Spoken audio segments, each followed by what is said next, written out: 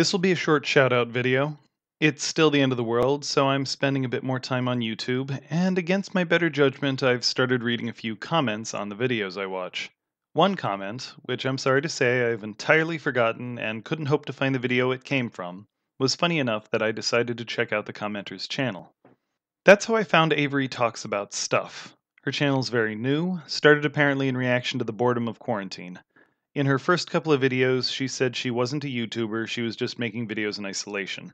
But soon enough, she found she was enjoying it and has decided to make a real go at it.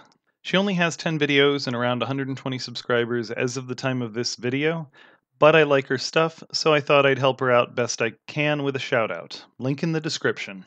She's got a simple enough talk to the camera and show clips format with a performance I would describe as low key, high impact. She can communicate a lot with a blink or the tilt of the head. She's willing to experiment with a gimmick, like when she decided to follow a 50s home economics video recipe, but otherwise it's pretty straightforward so far. I think she's very funny, with a great delivery. Her subject matter is a draw for me as well. She goes for the oddball, obscure, and shamefully nostalgic. Kind of like Greg's Pop Arena, only more so.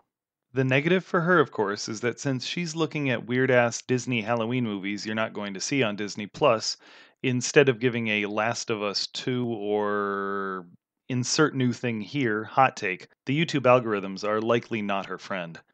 It's fair to say I'm usually only finding new channels because they're already popular, so having found a fun up and comer, I wanted to help her out how I could. Relatively few people will see my video, but I hope those of you who do will check out Avery's channel, and if you see something that connects with you, you'll give her a sub and some likes. Personal favorites include the one on a Beyond Belief episode, the one with the skull, the sandwich one, and the Mr. Boogedy one. Anyway, that's all for me. Have a good day and stay safe.